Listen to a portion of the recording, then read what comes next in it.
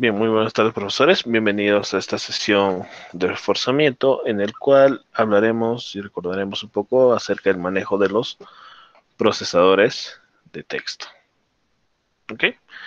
Eh, básicamente, ¿qué son los procesadores de texto? Son aplicaciones que están enfocados principalmente en la redacción de documentos. Los procesadores de textos junto con las aplicaciones de tipo presentación y hojas de cálculo, conllevan a una denominación de suite ofimática o aplicaciones de oficina. Entre ellas eh, manejamos una gran variedad de aplicaciones. Una de ellas y la más conocida es Word, en este caso Microsoft Word, que proviene de la empresa de Microsoft, de su suite ofimática. Para el caso de Word, eh, se cuenta con una versión de escritorio, que actualmente está en la versión 2019. Eh, existe una versión por suscripción, en este caso, que viene a ser lo del Office 365. Y también hay una opción de acceso web a través de cuentas en OneDrive, o perdón, en Outlook. Y otra opción interesante que se tiene es, en este caso, proviene del correo electrónico en Gmail, que viene a ser, por ejemplo, Google Docs. Para este caso, hablaremos un poco de Google Docs, algunas herramientas interesantes y bueno, si ya han estado viendo anteriormente y tienen alguna duda referente a estas herramientas, por favor, eh, pediría que me puedan dar a conocer. Bien, eh, como mencionábamos, las opciones de documentos eh, hacen referencia a aplicaciones, o perdón, de texto hacen referencia a aplicaciones que están enfocados principalmente en la redacción de textos. Una de las aplicaciones que podemos utilizar eh, de la mano de nuestro correo en Gmail viene a ser Google Documentos o Google Docs.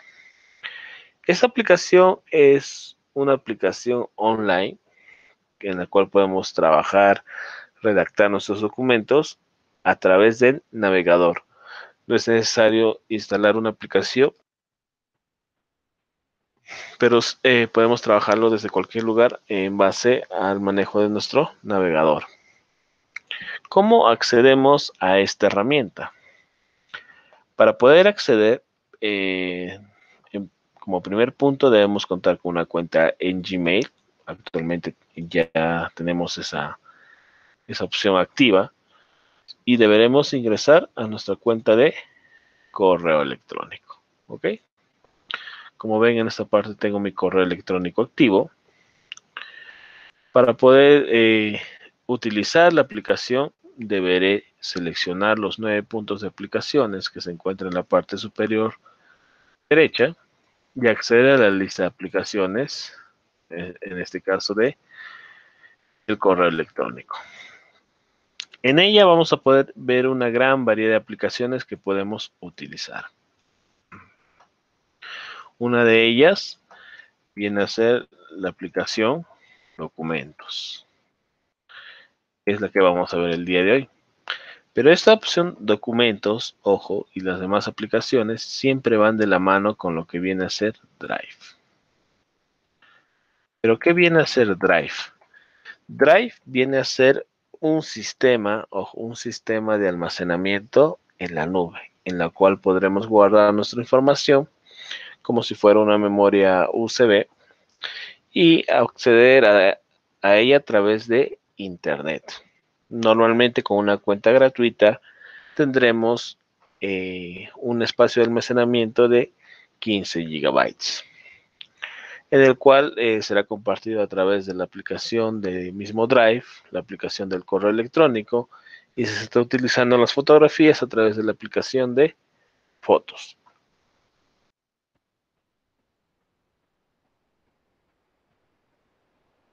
Este caso, eh, comenzaré ingresando primero a Drive y empezaré a generar mi documento. ¿Está bien? Me voy y selecciono la aplicación Drive. En Drive tendré el acceso a toda la información que he creado, que he compartido al momento de trabajar. Normalmente cuando nosotros creemos un archivo, ya sea eh, de tipo procesador de texto, ya sea presentaciones o hoja de cálculo de Drive, se generará el archivo en la propia extensión de dicha aplicación. Pero si queremos utilizarlo en otras aplicaciones, simplemente deberemos descargarlo y bajarlo en el formato que deseemos utilizar. Bien, para este caso eh, voy a crear un documento o perdón, una carpeta que es muy esencial el trabajo en carpetas porque de esta manera puedo organizar mucho mejor mi información. Hago clic en esta opción que dice nuevo y se me desplegarán las siguientes opciones. Un campo para subir elementos. De nuestro computador podemos subir a nuestra cuenta en Drive. Un campo para adicionar carpetas. Y otro campo enfocado en la creación de documentos nuevos. Esas son los tres, las tres áreas de nuevo si estamos en la parte de Drive. Ahora, ¿por qué es importante las carpetas? Porque de esta manera podemos organizar estas opciones.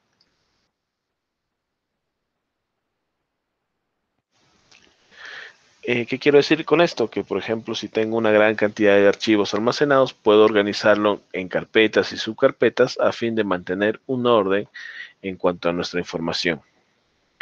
La segunda opción que nos permite subir archivos consta de dos categorías, una que menciona subir un archivo y la otra subir carpeta.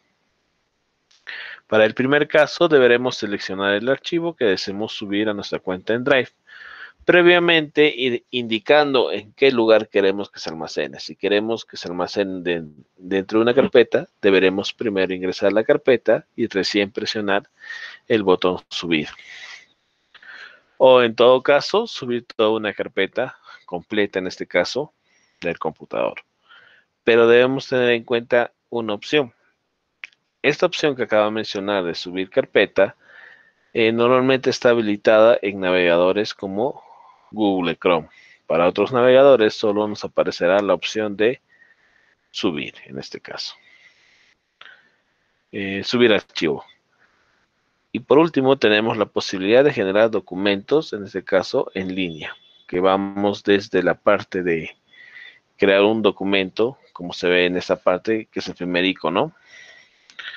Tendremos la posibilidad de generar una hoja de cálculo, o también conocido como eh, con el programa que normalmente lo utilizan como viene a ser eh, Excel. También tendremos la opción de poder agregar o crear una presentación de acuerdo a, lo que necesitemos con las mismas herramientas.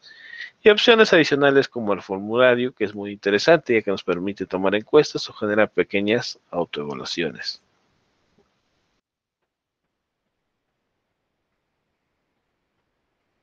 Para este caso, para comenzar, primero voy a crear mi carpeta. En este caso le voy a poner el número de 1. Y seguidamente lo que voy a hacer es voy a crear mi documento eh, de Google con la finalidad de poder eh, organizar un poco más mi información y ver ejemplos de este tipo. ¿Está bien? Vamos a hacer primero clic en nuevo, carpeta, y podré crear una carpeta para ir organizando mi información. Para este caso, colocaré el término mis documentos.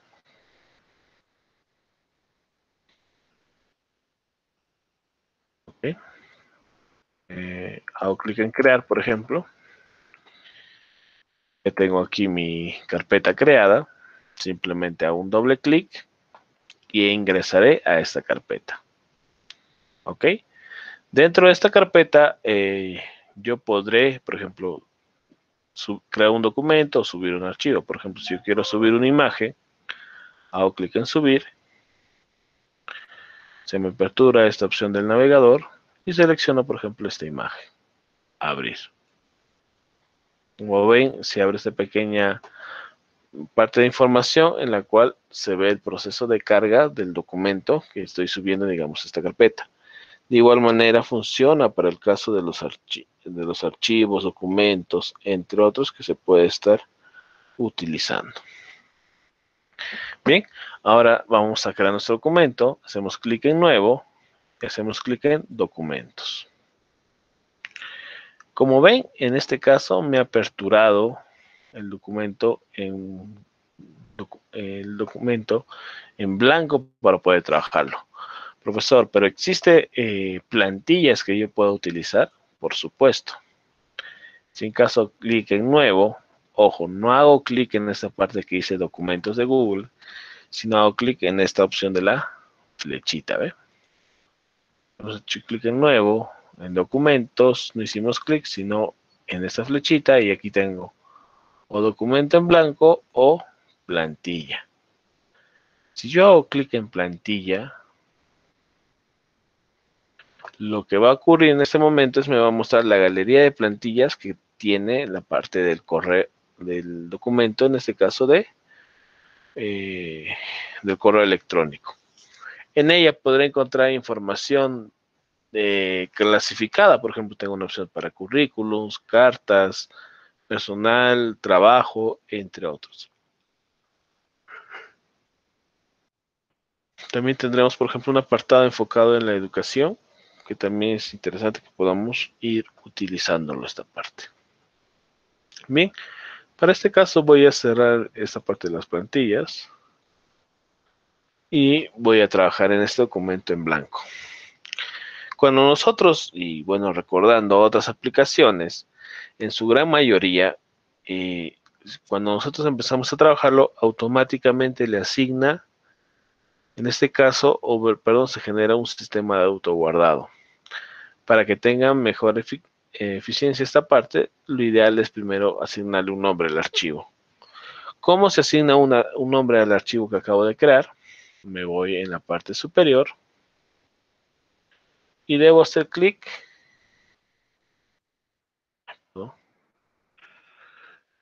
en la opción que dice documento sin título.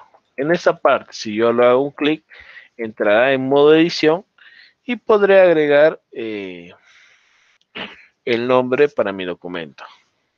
En este caso yo le voy a colocar, por ejemplo, informe final, por ejemplo. Ahí está. Presiono la tecla Enter me sale aquí el icono que se está guardando, como pueden apreciar, y dónde se va a estar agrupando. En este caso me dice, perdón. En esa parte me dice, por ejemplo, que está en el computador y la opción de la nube para poder utilizarlo. Cada vez que yo empiece a realizar un cambio, lo que va a ocurrir es automáticamente eh, me va a mostrar el cambio que se ha realizado y, podemos ir revisando esta parte, ya que se genera un sistema de autoguardado automático. Cada vez que yo hago un cambio, este se guarda de manera automática. Bien, en cuanto al trabajo de documentos en este caso, si bien es cierto, no tiene una barra tan atractiva como lo que es este Word, pero sí tenemos eh, esta distribución. Una barra de herramientas y una barra de acceso rápido. Normalmente lo que nosotros en Word podemos ver en secciones o pestañitas, aquí lo seguimos viendo de manera de menú y con el acceso a unas, algunas herramientas en específico. Perdón, un profesores.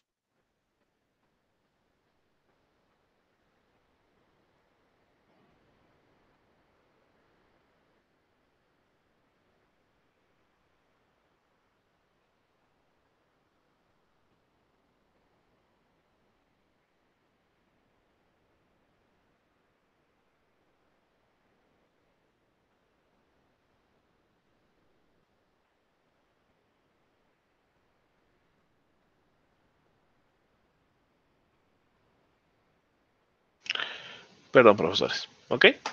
Bien. Eh, continuando esta parte, por ejemplo, eh, tenemos las mismas funciones. Por ejemplo, si yo quiero empezar a redactar mi documento, por ejemplo, un informe final, informe final, el proceso de adquisición, por ejemplo. Esto yo lo puedo asignar un estilo de texto. En las opciones de estilo podremos visualizar qué características voy a ir utilizando.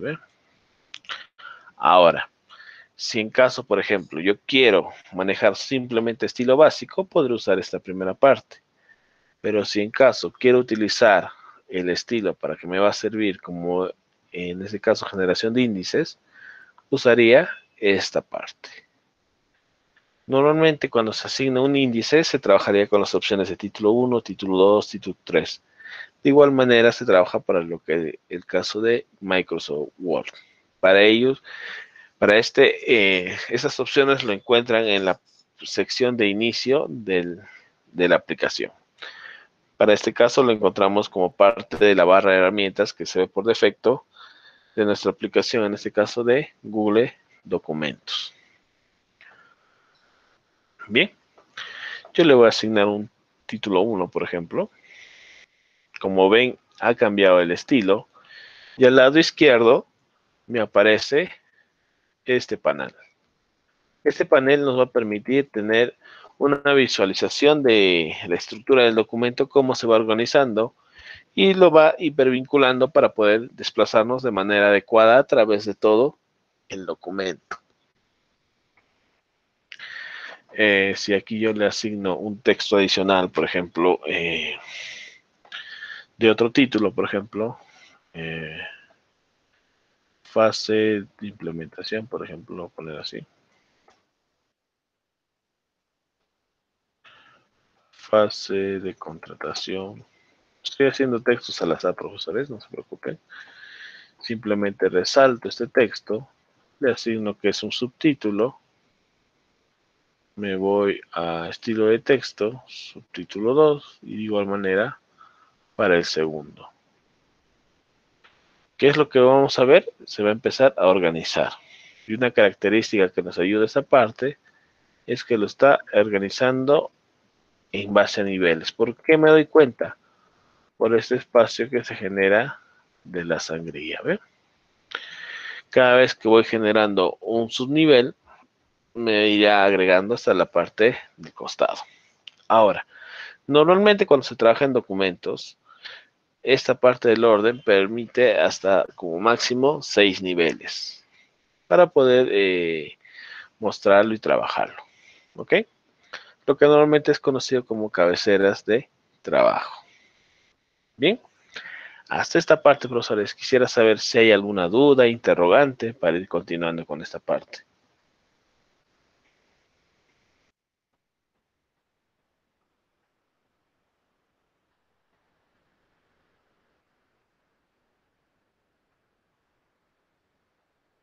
Recordemos que estas sesiones normalmente están enfocadas principalmente para poder responder alguna duda que hayan podido presentar. Bien, creo que no hay preguntas. Vamos a continuar. Muy bien, como ven en este caso simplemente agrega dos títulos para poder trabajar. Ahora, por ejemplo, si yo deseo... A ver, justo aquí tengo una pregunta profesor Carlos. Me menciona, al crear la carpeta, ¿cómo podemos subir un archivo? Eh, bien, cuando estamos en Drive, profesores, hace un momento vimos cómo cargar una imagen. Para ello debo hacer clic en el botón de nuevo, subir archivo y elegir el archivo que deseemos cargar. Por ejemplo, mm, a ver, por ejemplo, que puede ser un documento. Si tengo un documento a la mano, un segundito, por favor.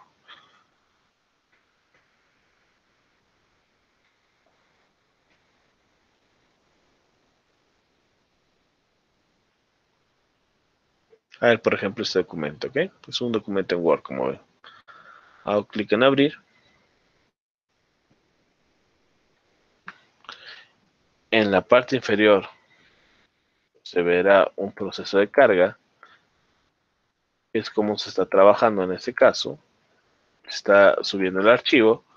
Me va a dar un cronómetro que es esta casa al costadito, que está con el símbolo de check. Cuando carga satisfactoriamente se ve de esta manera. Bien. Aquí ya tendré, por ejemplo, el documento cargado. ¿Cómo lo puedo visualizar? De esta manera, ¿ve? Aquí nos sale la opción que dice eh, tiempo de estudio, que es el archivo que he subido. Y si se dan cuenta, con la parte de abajo, eh, los iconos varían. ¿Por qué? El que dice informe final está creado en un documento en procesadores de texto de Google. Y el segundo, ven la opción de la W y tiene una extensión de docx que básicamente nos indica eh, que es un documento elaborado por Word. De esta manera nosotros podemos subir cualquier tipo de archivos a nuestra plataforma, profesor Carlos, en este caso. No sé si le aclaró la duda, profesor. Listo, perfecto. Bien. Ahora, bueno, antes de volver a la parte del documento, nosotros tenemos aquí nuestro, documento cargado. Si nosotros deseamos ver el archivo que hemos cargado, simplemente hago un doble clic y me da la previsualización del documento que tengo elaborado.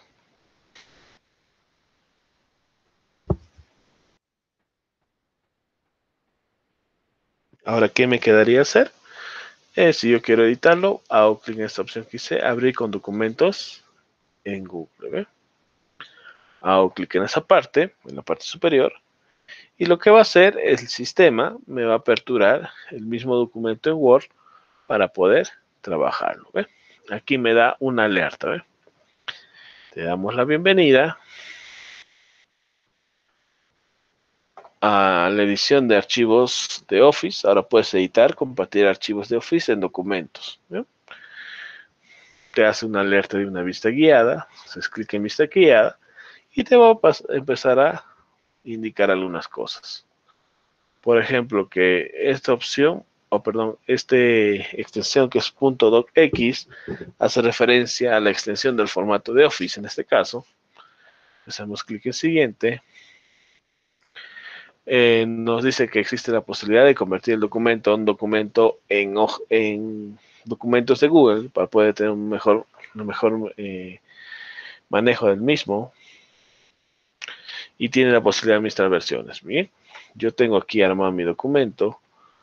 Eh, yo lo cambio en este caso, por ejemplo, a ver, vamos a cambiar algunos valores. Por ejemplo, eliminar esta tabla eh, o este texto, por ejemplo. Eh, si lo borro, automáticamente se está almacenando. Yo al cerrar, podré visualizarlo ya en tiempo real. Por ejemplo, aquí veo más abajito y ya empezó a desaparecer los elementos que he ido adjuntando. También de esta manera permite eh, descargarlo en el mismo formato. Por ejemplo, si yo entro a esta parte, hago clic en descargar, el, el archivo contendrá las mismas propiedades que se tiene en el documento original convertido y vuelto a convertir, para poder trabajarlo. ¿ve? Abrir en este caso mi Word, ya que tendría la misma información. ¿ve? Bien, de esta manera podemos ir configurando mucho mejor nuestra hoja de, eh, nuestro documento de Word.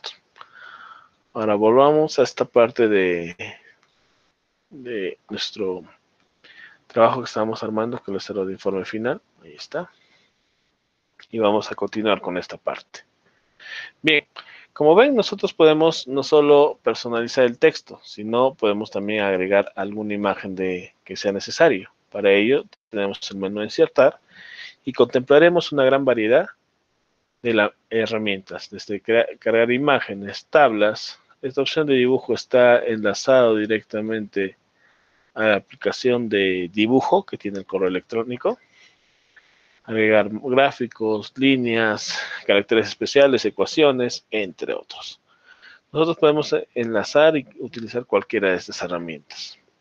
Así como también tendremos opciones para personalizar un formato y herramientas muy interesantes.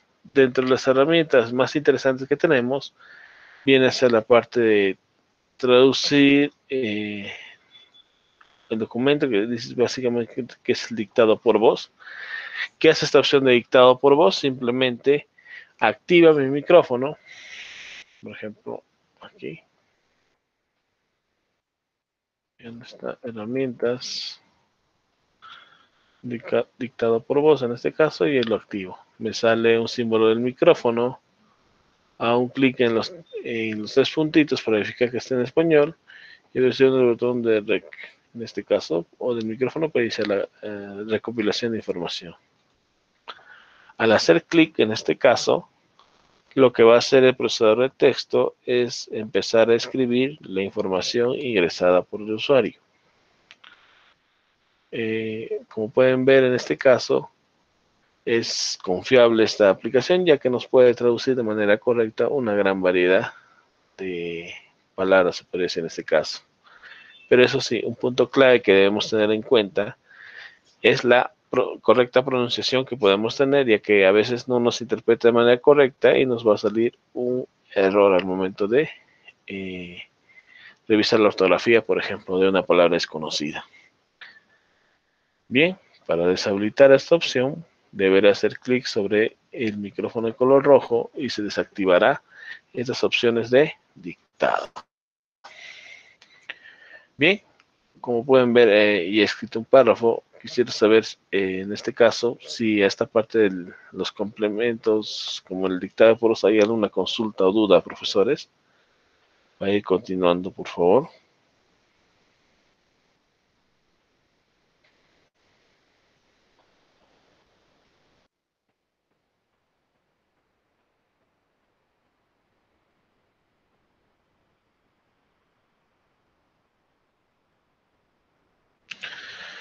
Bien.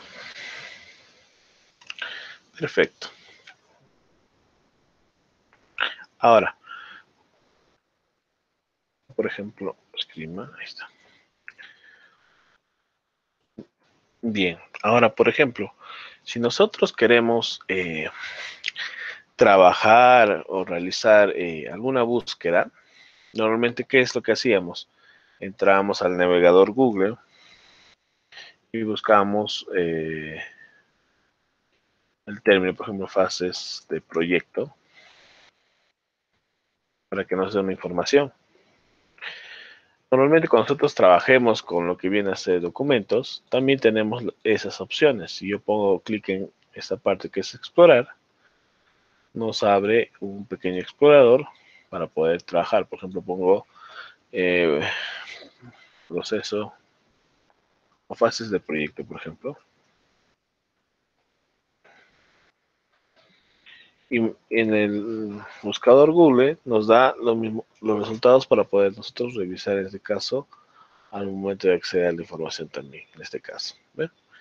No solo esto, sino tiene, por ejemplo, eh, selecciono en este caso una palabra, tengo la posibilidad de eh, realizar una búsqueda, pero en este caso no, no en explorador, sino directamente en un en una opción de diccionario. Está de definir. Y ahí tengo, por ejemplo, una definición que me da sobre la palabra proceso.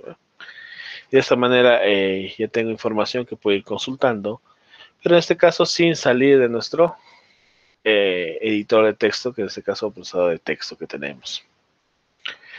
Normalmente, profesores, voy a hacer esta parte esta parte. Una opción muy interesante que se tiene en este caso con los documentos es la parte del trabajo colaborativo. Normalmente estas aplicaciones o estos elementos de trabajo colaborativo nos van a permitir que uno a más usuarios se conecten de manera eh, simultánea en este caso y puedan eh, editar esta información, corregirlo, modificarlo, cambiarlo de acuerdo a las necesidades que puede tener. Por ejemplo, si yo me voy en esta parte, la parte superior, la parte superior derecha, en este caso, hay un botón que dice compartir. Si yo selecciono esta opción, ¿qué es lo que nos va a salir? Una ventana emergente en la cual nos dará a decisión nuestra la opción de elegir cómo queremos que el resto de personas vea nuestro documento. Para la primera parte, para esta parte de aquí, esté enfocado principalmente en usuarios en específico. Yo debo elegir o indicar el usuario de la persona eh, con la que quiero eh, trabajar de esta manera y compartirlo de manera directa. Es un poco restrictivo en este caso. O la segunda opción es utilizar eh, un enlace público, el cual va a permitir que todas las personas accedan sin necesidad de un correo electrónico. A la vez que nosotros podemos dar acceso a esta hoja de, trabajo teniendo en cuenta esos criterios, también debemos tener en cuenta que debemos asignar o modificar los permisos que le podamos brindar. Por ejemplo, en cuanto a los apresadores de texto, tendremos unas opciones que son eh, la opción de editar, la opción de lectura y la opción de revisor. En base a estas tres opciones, yo puedo configurar para mi lista de usuarios para que puedan manejar. Como mencionaba, en esta primera parte, la parte de arriba eh, es la parte de compartir con personas en específico y la parte de abajo es para ya un rol mucho más global en este caso. Por ejemplo, si yo quiero compartir de manera global, me voy a, esta parte inferior que dice obtener enlace, a un cambio y estoy colocando que cualquier persona con el enlace tenga el rol que yo le escoja. En ese caso, ¿qué roles existen? Lector, comentador y editor. Son los tres eh, permisos que se puede asignar a una persona para que podamos trabajar. Por ejemplo, yo quiero cambiar a todos editor. Hago clic en editor. Me sale la opción de listos. Copio el enlace y por ejemplo yo les paso por el chat en este caso buscando eh, de esta manera por ejemplo para que puedan ingresar y probar esa parte de la herramienta ok por ejemplo ahí les voy compartir por el chat el enlace y qué es lo que va a permitir en este caso al generar un enlace eh, de manera eh, pública que básicamente va se va a visualizar cuando alguien hace un cambio, se puede recuperar versiones anteriores al momento de manejar esta parte. ¿Ok? Nosotros, eh, como menciono, podemos asignar a un grupo de personas en específico o generarlo de manera pública. Pero ojo, cuando nosotros manejemos de manera pública, ¿qué es lo que va a ocurrir? Los usuarios que ingresen, les va a salir el término de anónimo. Por ejemplo, acá veo que una persona ha ingresado. Y en este caso, como menciono, le sale de manera anónima. No se puede saber quién es la persona. ¿Por qué? Porque he liberado el enlace en mi documento para que cualquier persona que se encuentre en la web pueda ingresar y editar el documento. Ahora, pero si en caso yo uso el manejo selectivo, ¿qué va a ocurrir?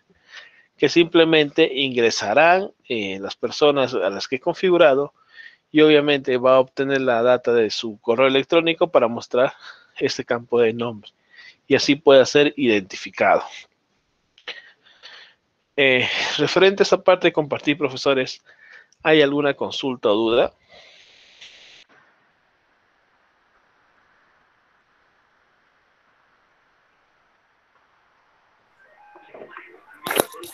Buenas tardes.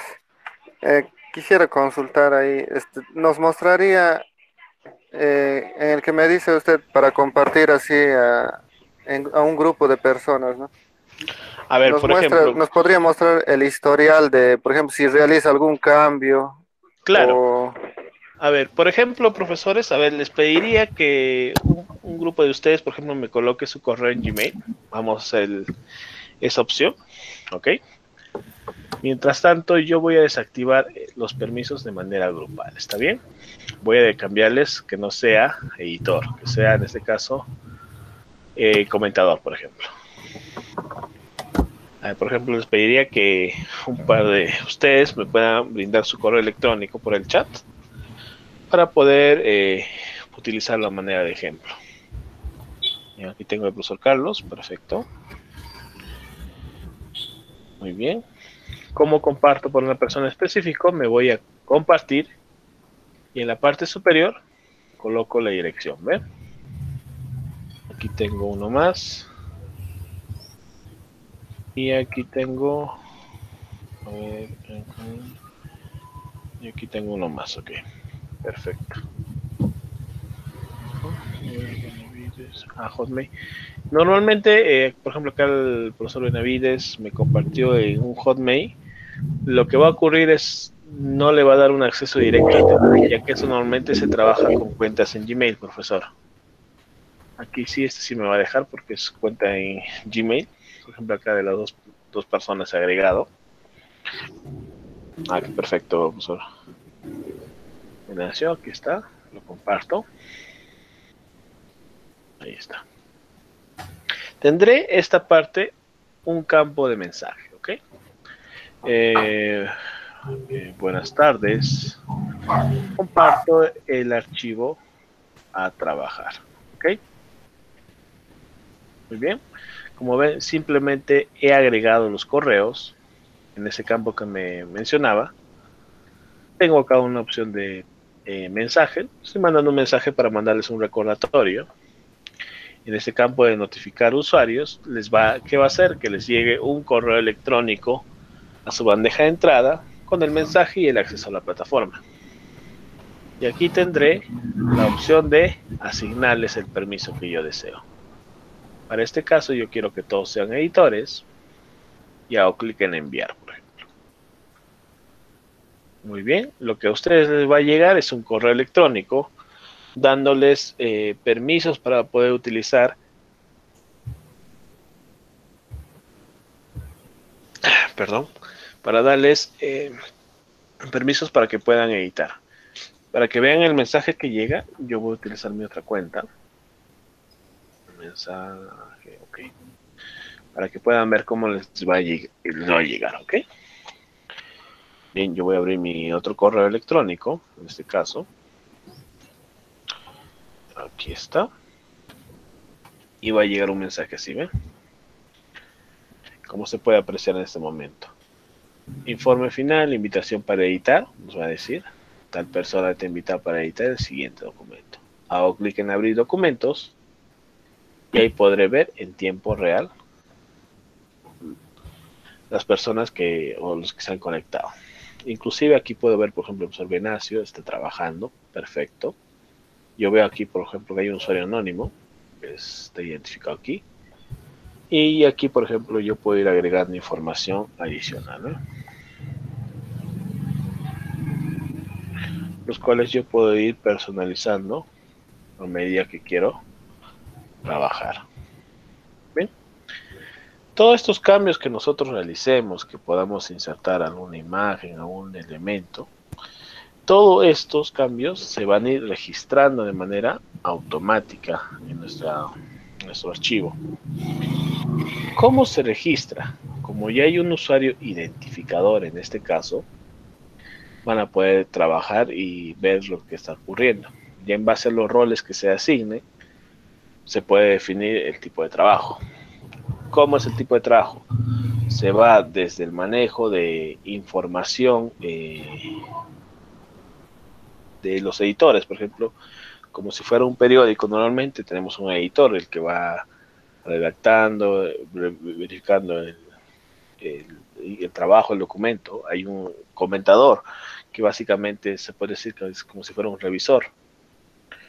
Eh, esto, por ejemplo, eh, simplemente resalta partes del documento eh, para indicar, por ejemplo, corrígeme este párrafo que no se entendió correctamente. Allá, le dejo un mensaje, el cual, por ejemplo, acá le digo, eh, yo selecciono esta parte, por ejemplo, este texto, y aquí me aparece este simbolito, ¿ve?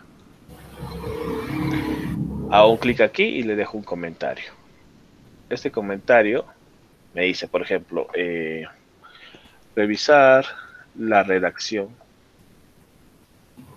Párrafo, por ejemplo, le puedo poner en ese caso. Y yo si quiero que sea una persona en específico, como ya compartí con un grupo, le pongo el arroba y me pone, por ejemplo, le puedo poner, por ejemplo, al al profesor, este, por ejemplo, Carlos, por ejemplo, en este caso, que está ahorita conectado, y le asigno inclusive, ¿ver? En este caso, esta persona le enviará una notificación para que revise la tarea y si en caso está correcto, lo marque como completada. Por ejemplo, lo voy a meter así de esta manera, sin asignar. Y aquí está, ¿ve? Le da una alerta a la persona que está trabajando. Esa persona revisará, eliminará, corregirá y cuando esté listo, marcará con un check. Ahora, ¿qué tal? Eh, no es correcto lo que menciona. Él puede poner este un, mensaje, por ejemplo, voy a poner con el otro usuario que tengo aquí. A ver, un segundito, aquí está. ¿Dónde está? ¿Dónde está? Creo que lo cerré de casualidad. un segundito, por favor. Creo que lo cerré. A ver, un minuto, por favor.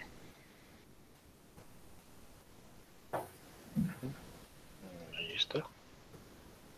Me están llegando alertas. Ahí está, por ejemplo, solo Benacio está colocando alertas. Eh, por ejemplo, yo le dejo un mensaje a uno de los comentarios puestos. Lo revisaré en breve. Y le mando un mensaje, ¿ve? Acá está, ¿ve? Empiezan a generar una conversación y una revisión en este caso. Aquí el profesor me hizo que lo ponga en mayúscula. Perfecto. Ya hay una entrada en fase de revisión y lo va corrigiendo. Cuando ya está corregido, simplemente lo marca como resuelto y desaparece el comentario, la alerta. ¿Por qué? Porque ya ha sido solucionada. Y de esta manera pueden trabajar, pueden asignar una persona, otra persona que puede ir trabajando, en este caso. Y de esta manera todos podemos estar. Inclusive hay una sala de chat. Por ejemplo, si yo lo activo, buen día con todos. Yo les mando un chat y aquí ven, miren en la parte superior. Al costado de las personas que estamos trabajando, sale una alerta. Un mensaje sin leer. Si yo hago clic en esta parte, ya tengo un pequeño chat. Y podemos poner avanzando con el trabajo. Y a todos les va a llegar ese mensaje. Y hay un sistema de conversación en este, en este momento en tiempo real. Ahora, por ejemplo, yo quiero saber qué persona, cada persona en qué lugar se encuentra, qué está realizando, por ejemplo, qué está revisando en este caso. Yo, por ejemplo, aquí veo, eh, por ejemplo, al profesor Carlos, hago un clic ahí sobre su nombre y me va a llevar a donde está. El otro correo y me indica en qué parte se encuentra. De esa manera yo me puedo ir moviendo y visualizando en qué parte están trabajando. ¿Y cómo se identifican? Porque normalmente eh, aparece resaltado de un color el, cursor con su nombre. De esta manera nosotros podemos ir trabajando con otras personas en tiempo real. Y supongamos, alguien vino y nos borró todo el trabajo. Puso eliminar. Normalmente cuando se trabaja en la nube, ¿cómo podemos recuperar? Si justo no había nadie, no sabemos quién ha hecho. Para eso existe lo que mencionaba el profesor, el sistema de historial de versiones.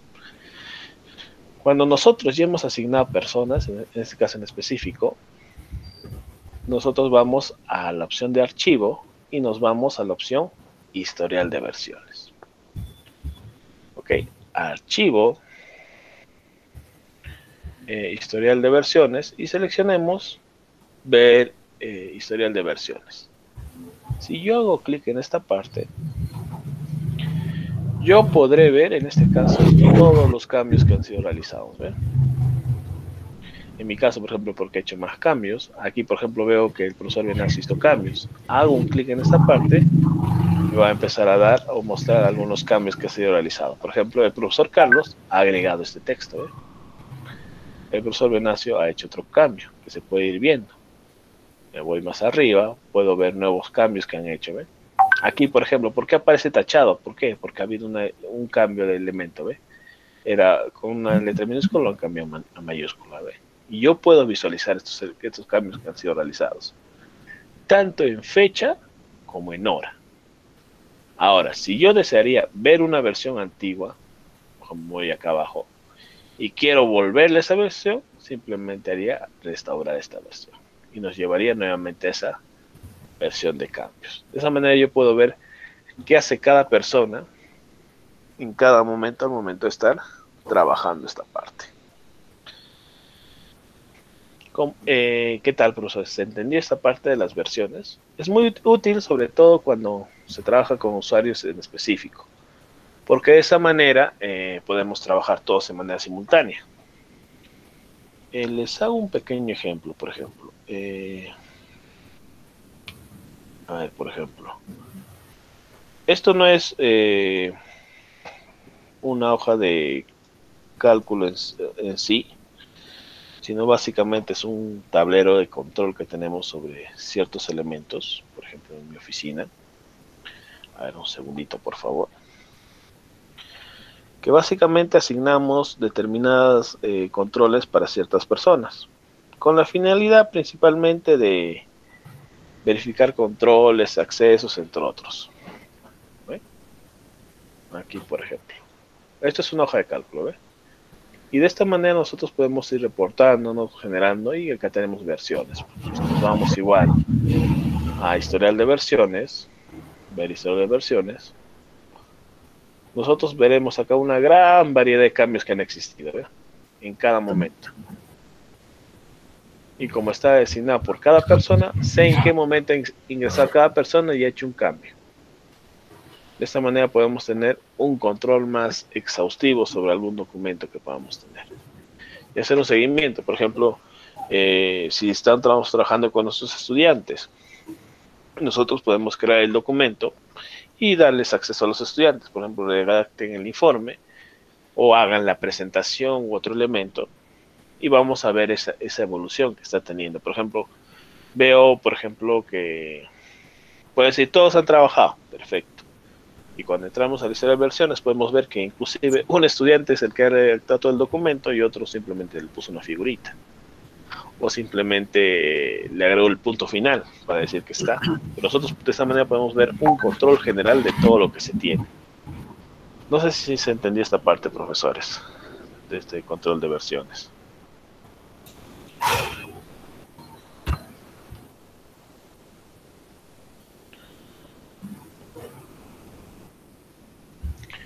Como ven, estas opciones sí son muy interesantes de manejar, profesores, ya que nos permite realizar un mejor control. Particularmente en mi oficina nosotros trabajamos bastante con estas opciones de trabajo para poder manejarlos. Y aquí, por ejemplo, el profesor Ignacio pone, por ejemplo, todos tenemos que terminar para mañana, ¿eh? Y ya, aquí inclusive él puede empezar, pone el símbolo de arroba y le va a aparecer los otros contactos que están. Y le va generar alertas a las demás personas que deben estar atentos, que les falta. Y por ejemplo, si pone, por ejemplo, la opción de notificar que hace un rato les mostré, le va a llegar un correo electrónico a la persona diciéndole, este, tienes que ir a trabajar en el documento que tienes. Aparte de estas opciones de versiones, profesores, que son muy interesantes, hay otras adicionales. Y esto, eh, llamémoslo así. Si nosotros vemos eh, la interfaz ahorita de, documentos, podemos apreciar que no, a simple vista tal vez no tenga todas las opciones que tiene, por ejemplo, Word. Pero ¿cómo, cómo puedo realizar determinadas acciones que tal vez no estén? La opción de ya sea documentos, procesadores, o procesadores de texto, hojas de cálculo, presentaciones, formularios, entre otros, tiene una opción interesante de añadir complementos.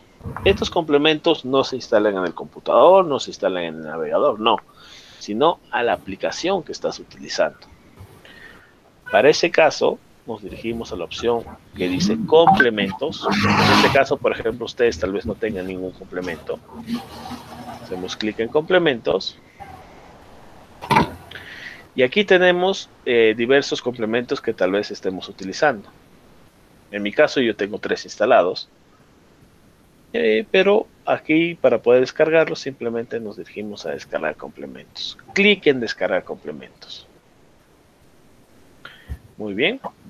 Nos sale esta ventana emergente en la cual nos va a aparecer una gran lista de opciones adicionales que podemos integrar a nuestra aplicación. Tenemos, por ejemplo, para hacer diagramas como Lucy Chart.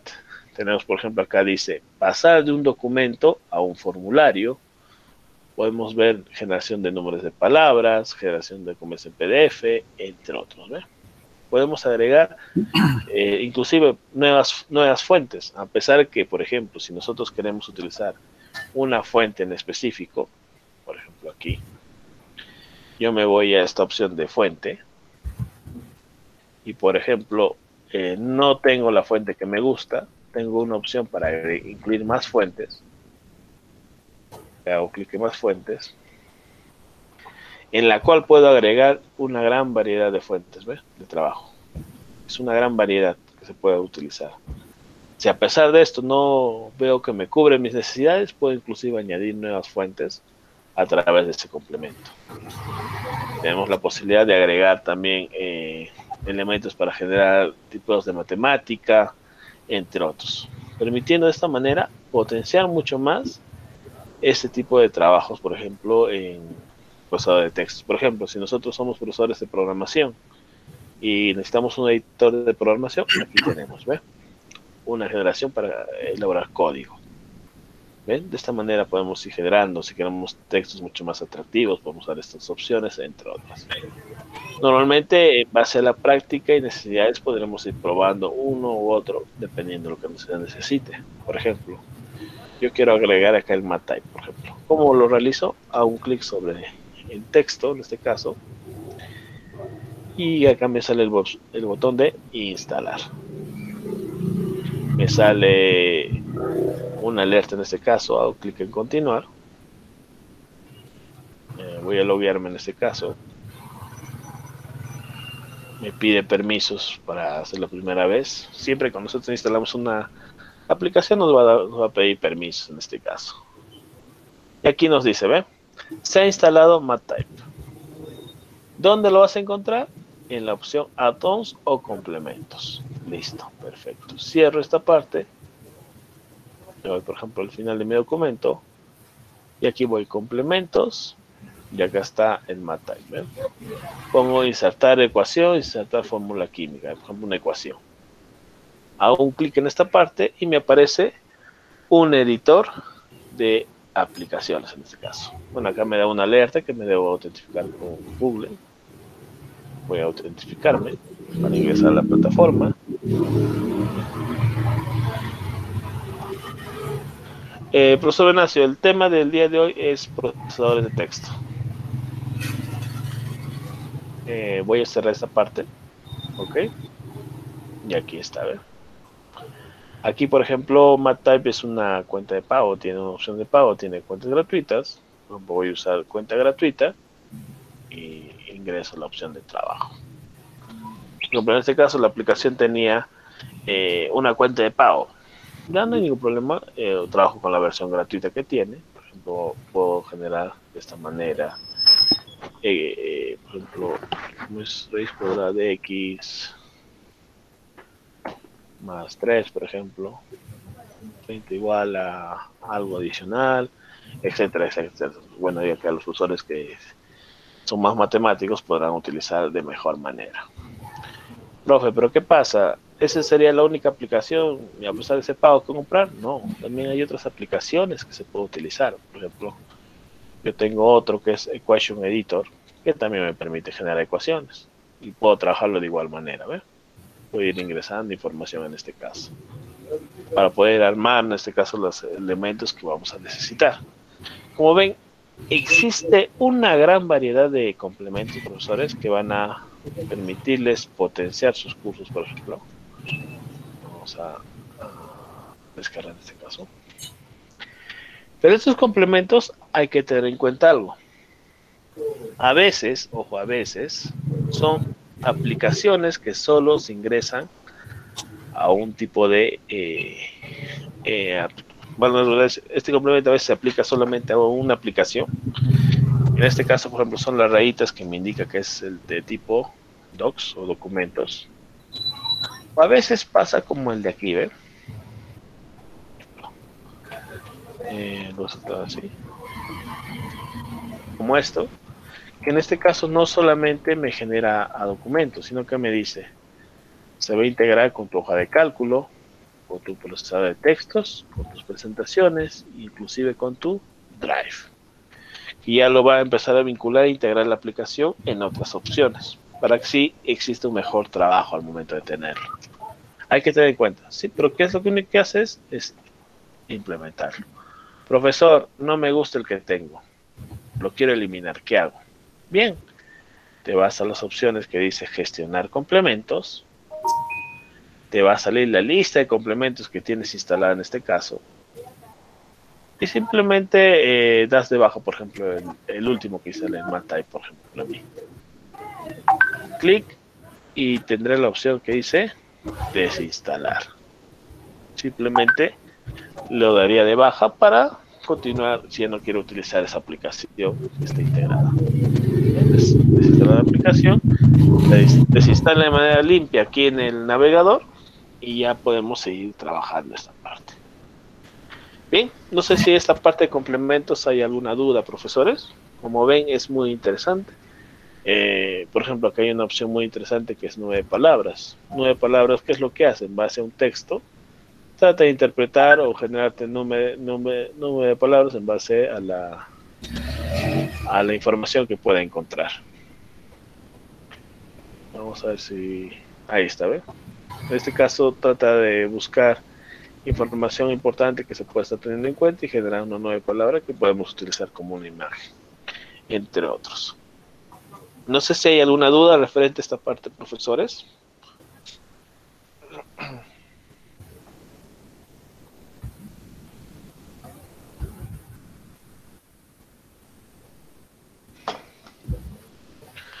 ¿Qué les pareció? ¿Interesante? ¿Muy interesante? ¿Se encuentran ahí todavía profesores?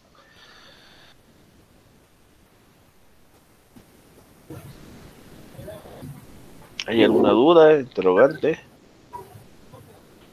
Igual, eh, de igual manera que trabajamos en Zoom, eh, pueden usar el micrófono, no, tengo ningún inconveniente.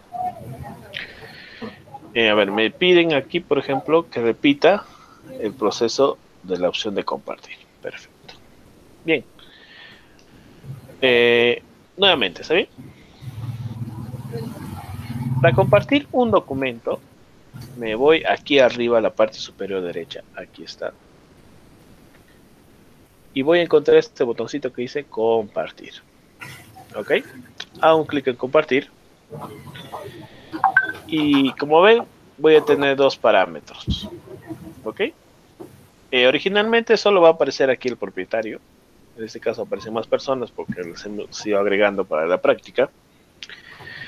Y tenemos esta opción que menciono que es opción selectiva, se puede decir, que vamos a escoger a ciertas personas en sí, en específico, que queremos que trabajen. Y vamos a tener una opción que es, en este caso, de un enlace público. Que, es esto, que cualquier persona que tenga el enlace va a poder acceder a mi documento con los permisos que yo le asigne. En este caso, si yo quiero, por ejemplo, compartir ese documento para que todos puedan verlo, simplemente lo pongo de manera pública con la opción de lector para que lo puedan ver. ¿Ok? ¿Cómo agrego aquí a una persona? Perdón, simplemente escribo el correo electrónico de la misma, como se ve en este caso. De preferencia se recomienda mandarle un mensajito para saber de qué trata lo que están compartiendo. Y lo esencial, qué permisos le van a asignar de esa manera ustedes pueden organizar mucho mejor esta parte. Si queremos que solo sea tipo editor, básicamente la persona que puede editar el documento, en todo caso cambiar a un rol de tipo lector que solamente pueda visualizar el documento o comentador. Ahora, hay una opción que sí muy interesante, que sí me olvidé comentarles, es que tenemos esta configuración adicional con los usuarios que si nosotros, por ejemplo, desactivamos esta opción que dice los editores pueden cambiar los permisos de compartir, quita esta opción. Si yo desactivo esta opción, inclusive no van a poder ni descargar, imprimir o copiar información del documento que les estoy compartiendo. Simplemente puedo activar o desactivar esas opciones a medida que puedan necesitar. Bien, ya que tengo agregada zona, no ponen eh, comentador en este caso, por ejemplo. Y le voy a desactivar esta opción. Hago clic en enviar y a mi otro usuario le llegará un correo electrónico. Está siendo invitado en este caso para poder comentar un documento. A ver, un segundito por favor. Que voy a abrir mi otra cuenta. para poder ver esta parte. ver.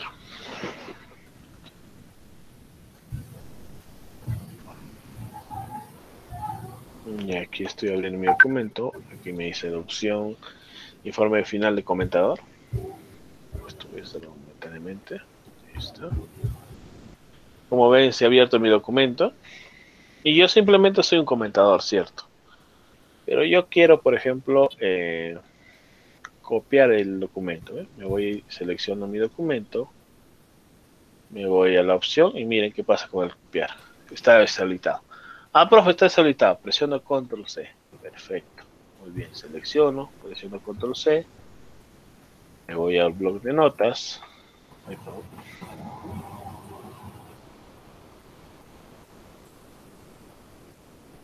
Y por ejemplo, mírenme, aquí está mi blog de notas.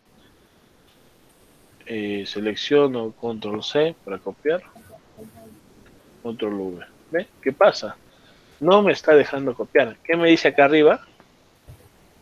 se inhabilitaron las opciones para descargar, imprimir y copiar el archivo. De esta manera yo puedo proteger mi documento público para que otras personas no puedan inclusive ni descargarlo.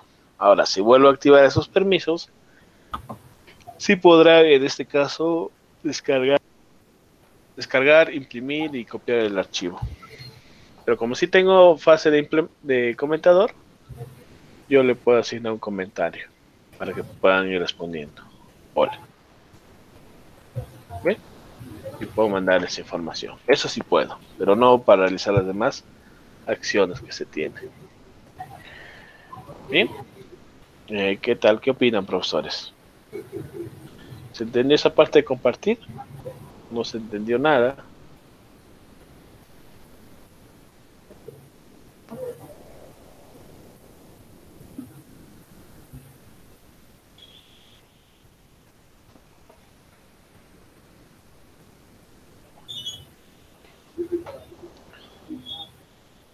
El profesor, eh, ¿se entendió? Sí, profesora Hermelinda, profesor Gustavo, eh, Carlos, ¿se entendió esta opción de compartir? Repito nuevamente.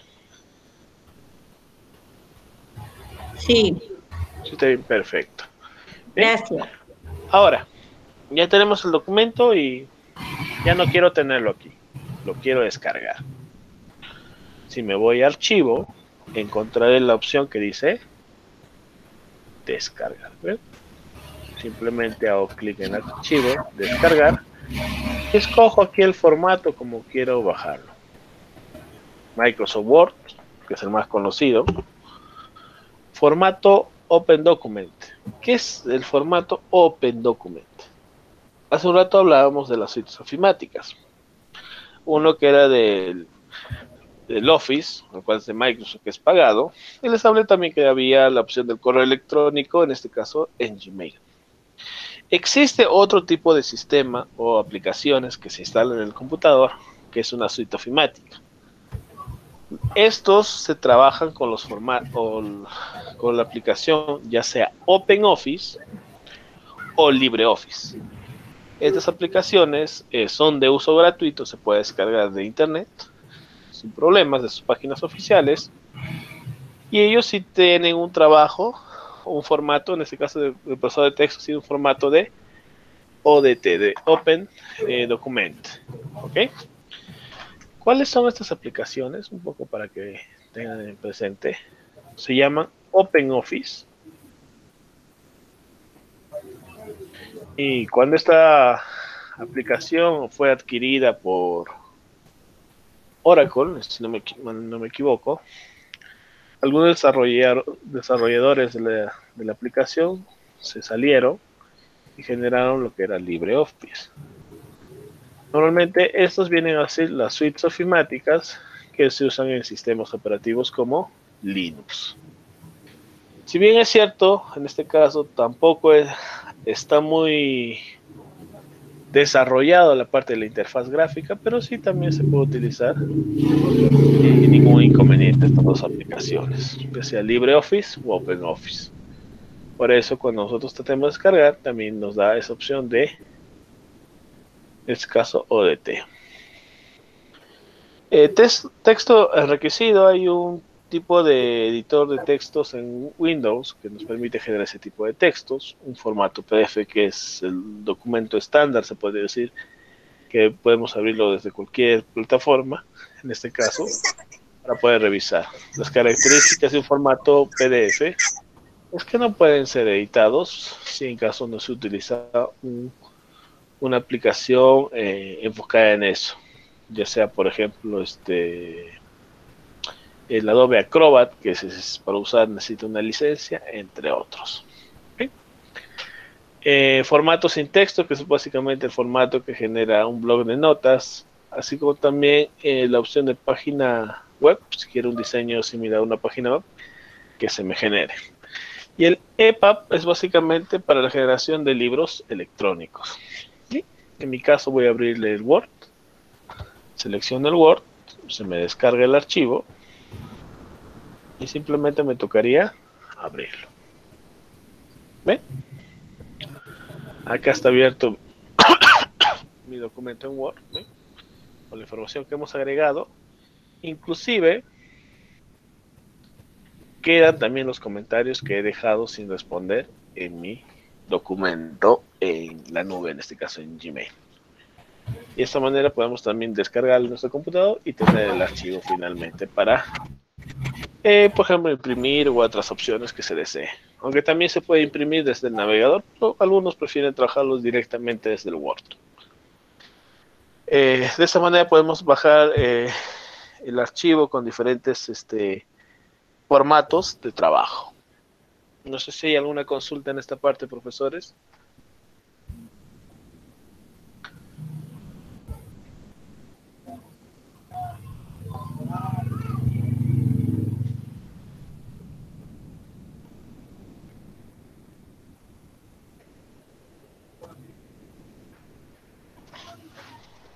Ok, no sé si hay alguna consulta más sobre esta parte, profesores. Está claro, no quedó nada en claro, se confundieron más, no, lo sé. Ojo, tal vez nosotros al inicio cuando empecemos a utilizar este, esta aplicación, tal vez eh, nos genera un poco de incomodidad, tal vez debido a que es un poco acostumbrarse al manejo que se pueda tener como pueden ver, existe una, una, una opción muy interesante que podemos usar. Porque a veces cuando nosotros compramos un computador por primera vez, no tenemos el Office, tenemos que adquirirlo, buscarlo, y podemos utilizar, inclusive si tenemos internet, con el correo electrónico, trabajarlo de esta manera. Inclusive hay opciones que nos permiten inclusive traducir el documento completo, como es esta opción. Me dice la profesora Hermelinda que repita lo de los complementos. Perfecto. Nosotros cuando trabajamos la parte de complementos, a ver, eh, ¿qué es un complemento? Es una aplicación pequeña que complementa a esta aplicación que estamos usando como profesor de textos. Es como un adicional, se podría decir. ¿Ok? Para poder instalar un complemento, primer paso es estar en, el, en la aplicación que deseo agregar el complemento, ya sea eh, procesador de texto, ya sea eh, eh, hoja de cálculo, presentaciones, formularios. Yo debo escoger en este caso la aplicación donde deseo instalar. Una vez que estoy dentro de la aplicación, como en este caso es el procesador de texto, me voy al menú que dice complementos. Y dentro de complementos encontraré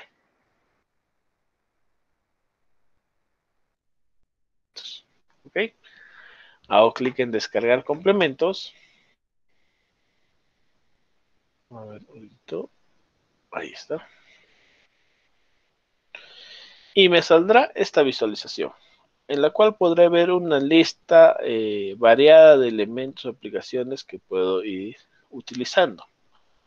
En este caso yo debo, por ejemplo, buscar, por ejemplo, si es referente a matemática, por ejemplo. Matemática.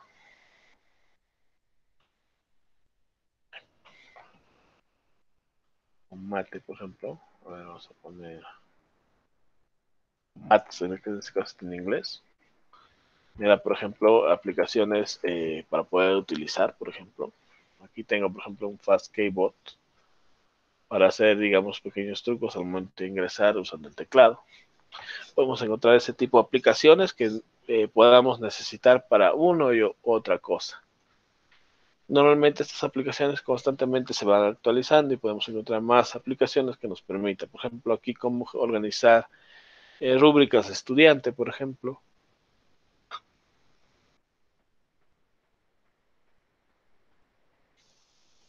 Eh, entre otros elementos. Por ejemplo, si yo me voy a esta parte de Funtext, eh, me brinda la opción de instalar y más abajo muestra, por ejemplo, el escaso muestra una breve descripción de lo que trata. Si bien es cierto, está en inglés en algunos casos, la mejor opción sería, por ejemplo, traducirlo de los elementos que se tiene, por ejemplo, en este caso. ¿eh? En su pequeña descripción y aquí, por ejemplo, rankings, que es como en YouTube, las mismas puntuaciones se asignan. ¿eh?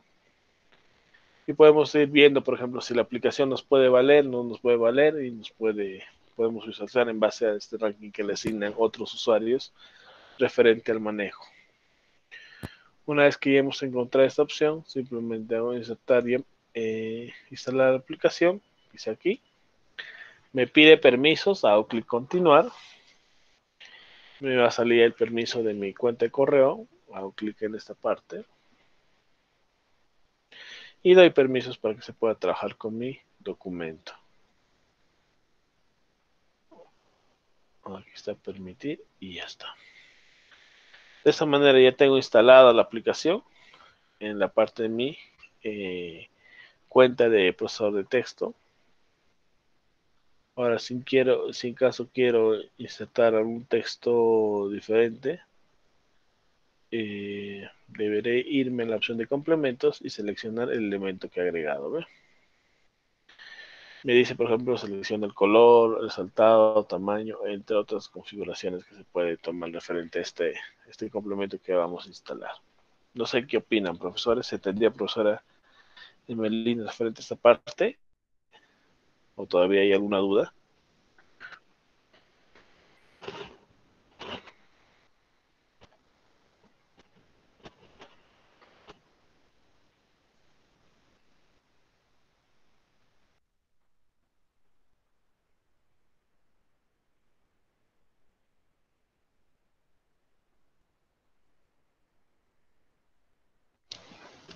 ¿Se entendió, profesores? ¿Entendí esta parte?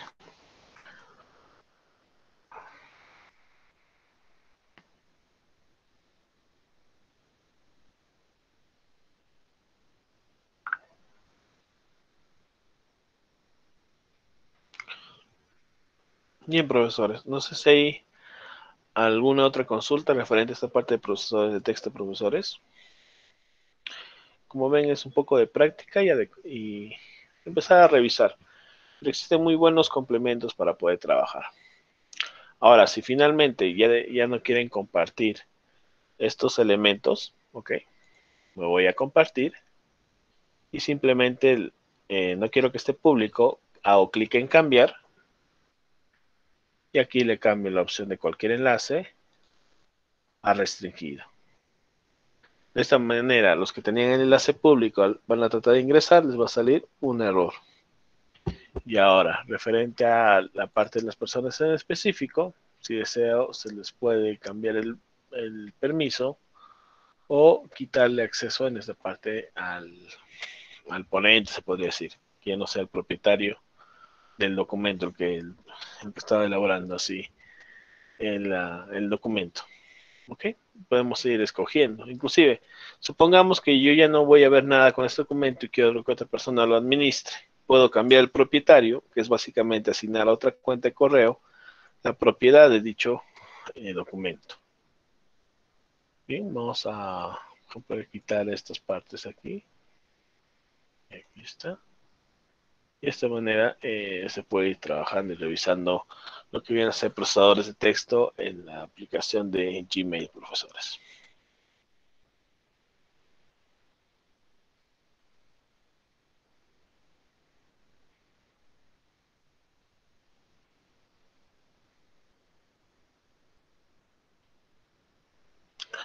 Bien, creo que no hay más consultas referentes a parte. Básicamente la sesión está enfocado en un proceso de texto de Gmail. No sé si tienen alguna duda o referente a Word tal vez, para poder aclarar alguna duda que puedan presentar, para poder estar ayudando a los profesores.